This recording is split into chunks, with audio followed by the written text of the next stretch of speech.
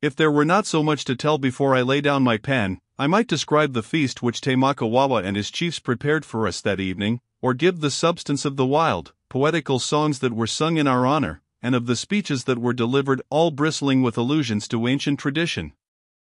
But the matter, though interesting, does not concern this history directly. Suffice it to say, then, that I had, from the first, developed a slightly skeptical attitude towards the old chief's story. This was accentuated by the fact that, after the feast of which I have spoken, one of the songs sung by a young chief contained a chance allusion to Hinori, giving in a few words the skeleton of a popular legend which differed almost entirely from Te Makawawa's tradition of the same person. Even if this discrepancy could be explained by saying that a popular legend is often fabricated around the central name of some more ancient tradition, it still remained to deal with the extraordinary parts of Te Makawawa's story, which were not easy of belief without some kind of verification. Therefore, I had many a grave doubt. On the following day, when we took our departure, the aged chief sent with us a Maori named Tiki, who had been with the party which had taken the child, fifteen years before, and left her at the hut of the man who had forgotten. This Maori was to be my servant, to aid me in finding Karitahi Kirai, or, as we should pronounce it, Crystal Grey. He was to obey me in all things, and not to leave me under any conditions until the child, now, of course, if living, a girl 17 or 18 years of age, was found and brought to Te Makawawa. When we three, Kahikatea, Tiki, and myself, were leaving the pa, the old chief gave us a solemn and sad farewell. Sitting at the doorway of his house, he said, Depart, O Kahikatea, dreamer of dreams. Take not again the way of the spider, lest you become even as he who has forgotten his name and the face of his friend. Depart, O seeker of the child whose mother awaits you, and forget not my words. Go, my friends, to whom I have shown the secret of the ages. Go! While I remain here watching the Kotukutuku's yellow leaf that will not fall, watching the western sun that cannot set. So we left the pa of Te Makawawa, our hearts full of the strange tale we had heard. When we reached the bank of the river, we sat down on a log and looked at one another. Do you believe the old chief's tale? I asked Kahikatea. It accounted for my dream, he replied, but, do you know, I have never been able to decide whether I dreamed that about the stone woman in the cave, or whether it was an actual experience I went through. All I can be certain of is that on the floor of my hut, two years ago, I awoke from what I took to be a kind of syncope due to failure of the heart's action. I went out and shook myself together, and recalled a hazy memory of those things I related to the old chief. Of course, I dismissed the matter as a dream, though that pure white woman's face I could not, cannot, and do not wish to, dismiss, for I admit to you candidly that I would risk my life to see it again, it has a fine meaning. I say I explained it as a dream, but what perplexed me some time later was that in my record of the month from full moon to full moon I discovered a gap of three days. Then another thing which puzzled me was that I had a great many bruises that I could not account for, one in particular, a painful sore on my back, by Jove. He started up in an excited manner and threw off his coat. Then in another moment his shirt followed, and he stood stripped to the waist.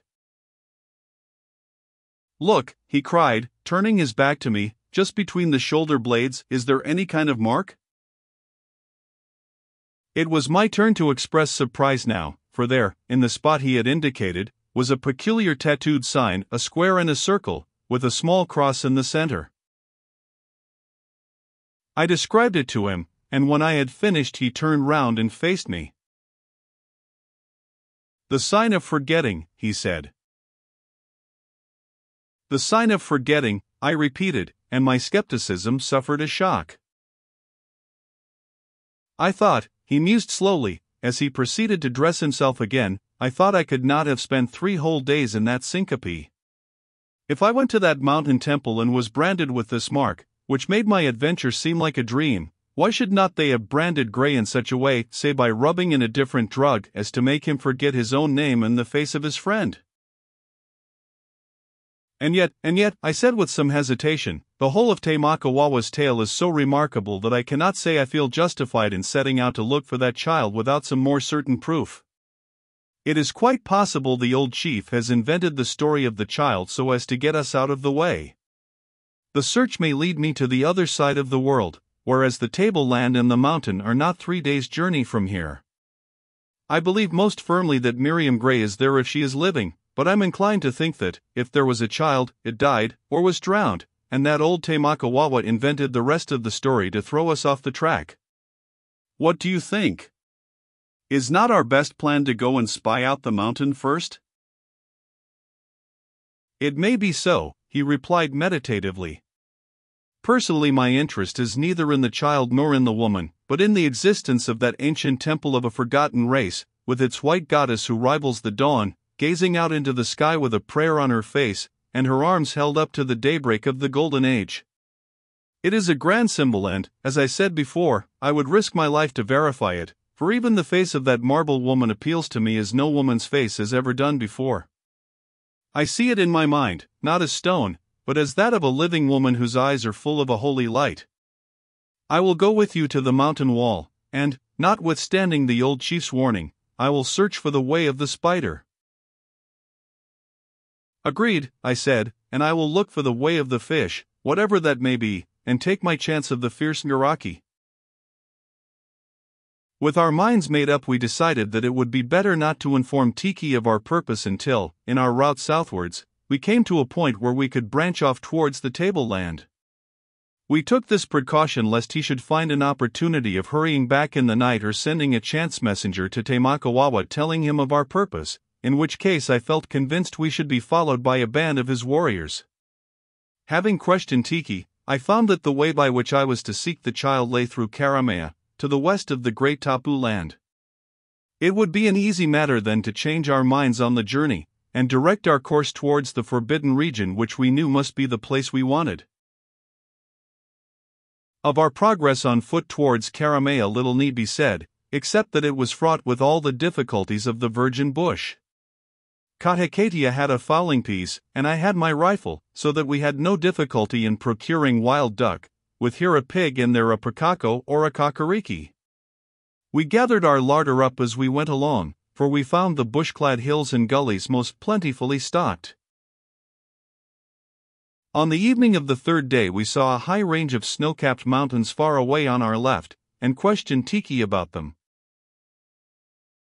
That is the great Tapu land, he said, lowering his voice. After a conversation over the campfire in our own tongue, we decided that the time had come to change our course. Accordingly, in the morning we informed the Maori that the curiosity of the white man was great, we wished to see this forbidden country.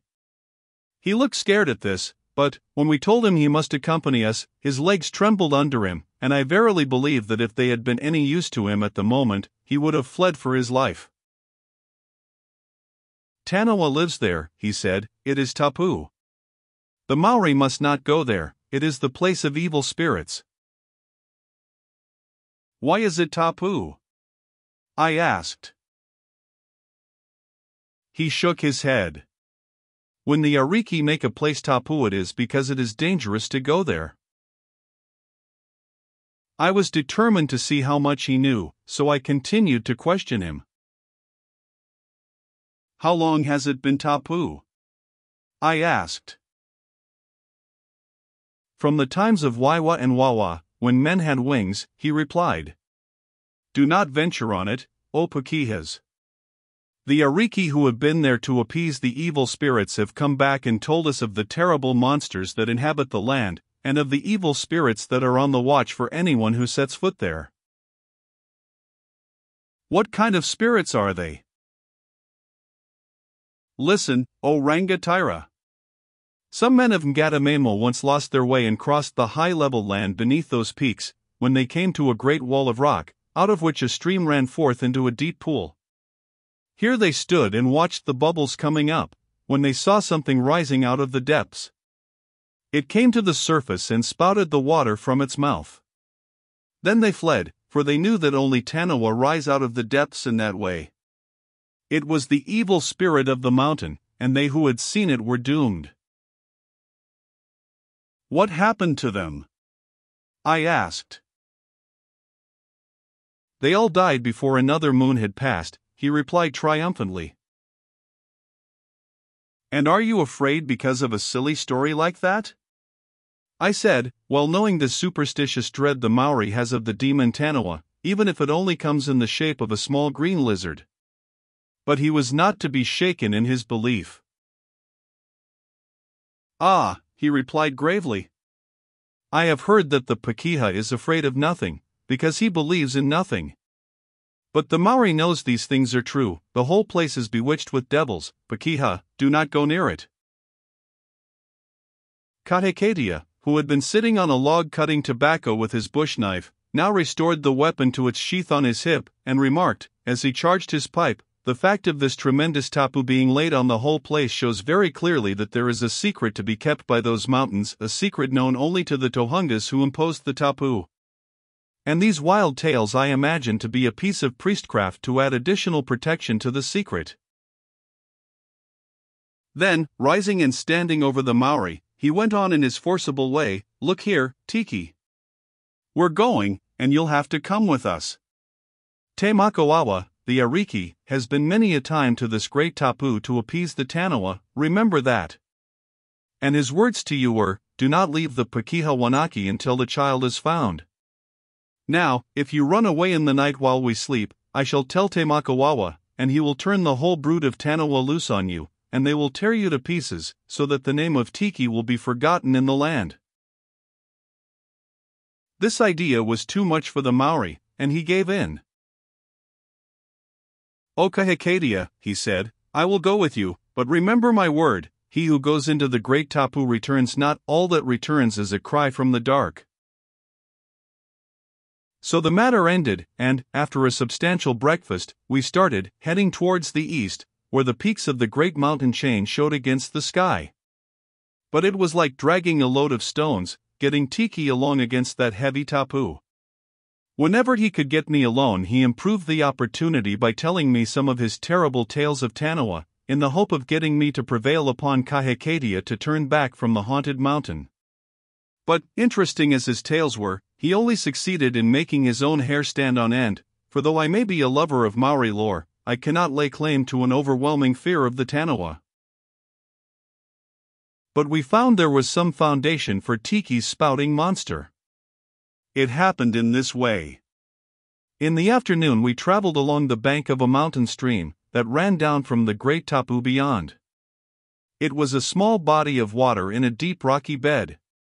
We followed it up for several hours, and by sunset reached what we took to be its source a deep pool, some 20 yards across, at the foot of a tremendous rocky cliff, on the face of which grew rare ferns, with here and there the crimson or white rata vine. The quiet overflow of this pool swept down beneath high banks, whose flowers and ferns were now flushed and glistening in the sun, which sent a few struggling rays between the black trunks of some mountain birches. It was a pleasant spot, with a broad green bank on the one hand, where the afternoon sun had found an entrance, while, on the other, where the sunlight never reached, a perfect grotto of rare ferns grew from the crevices of the rocks that composed the high overhanging bank. Here upon the broad green sward we built our campfire and prepared to stay the night, and it was here that the strange thing happened which went a long way to confirm Tiki in his ideas of the haunted mountain and perplexed us not a little. Twilight was deepening over the gloomy hills, and the silence in which bush travelers hear mysterious noises grew deeper and deeper as the late singing birds stopped their songs one by one to make way for the little owls. We sat upon the bank of the pool, smoking after our meal and looking idly at the water, when the Maori's quick ear caught some unusual sound. He sprang up and stood stock still, with a scared look upon his face. Is it a Taniwha coming, Tiki? I asked, for I could hear nothing. Presently, however, a distant moaning sound seemed to come out of the ground. The earth is shivering, said Kahikatea, rising from his sitting posture. It is nothing, Tiki, I cried, it's only Ru, your restless earthquake god, turning in his rocky bed. He is rearranging his mat and his pillow, he'll soon settle down again. But the sound grew nearer and louder, and the bank on which we stood trembled visibly. Then there was a hollow roar underground, and Tiki, without waiting to see what came of it, shrieked Taniwha, and turned to fly. But Kahikatea was too quick for him. His long arm swept out and caught the Maori by the shoulder. Then, as he wheeled him round and nailed him to the spot, a great torrent of water burst forth out of the pool, and rose to a height of 10 or 15 feet in the air, swelling the stream level with its banks as it swept away. The noise of this rushing fountain, as it rose and fell into the pool, drowned all speech, and for some minutes we stood looking at it, too surprised to speak. I heard a howl of fear from Tiki, as my friend, gripping him by both arms from behind, made him face it. It's an intermittent spring, roared Kahikatea presently, above the tumult. We watched the column of water springing now several feet higher, and then sinking lower as its force increased and abated alternately, and shouted many conjectures between the howls of Tiki. The seething pool dashed spray in our faces, and we drew back. In ten minutes or a quarter of an hour, a sudden change came over the springing column of water. It sank gradually back into the pool. The tumult ceased, and the water fell to its former level. The small stream then flowed quietly through the bed of its channel, and all was still again. Tiki was the first to break the silence. The evil spirits have let the flood loose, he cried. Did I not say the place was tapu? Oh Wanaki, let us go back. A profuse perspiration was on the Maori's forehead, and his knees shook. I felt sorry for him, and proceeded to explain an elaborate theory of intermittent springs, helped here and there by a word from Kahikatea. At length we took the keen edge off his fear, for he admitted that our mana 15 was great, but he would not accept our explanation. Taniwha's were more in his line, and his attitude seemed to be based on this principle why invent an elaborate hypothesis like ours when a simple one like his would account for all the facts? Some little time later, when our astonishment had worn off a little, and Kahikatea had begun to gather ferns on the other side of the pool, Tiki took advantage of the opportunity to urge me even more strongly to turn back and not venture further into the haunted place. But I assured him that we had no intention of taking his advice, and he accepted the inevitable, saying again that our mana was great, and that when we got out of the tapu we would no doubt reward his bravery by giving him a pair of trousers and a new pipe. Indeed, in consideration of value received, he seemed almost willing to renounce his religion altogether. By his reassuring remarks, I certainly gathered the impression that if he were only clad in a complete suit of European clothes, no Taniwha could touch him. He was no high class Maori to talk like that, for, if Te Makawawa had caught him in trousers, he would have ordered them off, and thrashed him within an inch of his life for forsaking the ancient glory of his race. Nothing remarkable happened during the remainder of that night, unless it was that Kahikatea moaned in his sleep several times, and I caught the impassioned words, Hinori. Hinori. A strong feeling of friendship had sprung up within my heart for this strange man, with his passionate love of birds and trees, of snow capped mountains and deep, wide solitudes, of great symbols and lofty ideals. His very stone goddess, set with fantastic meaning in the high solitudes of the everlasting mountains, appealed to me as the strongest part of the bond that already existed between us. I lay wondering who he was, and what his past life had been, and, as I wondered, I fell asleep.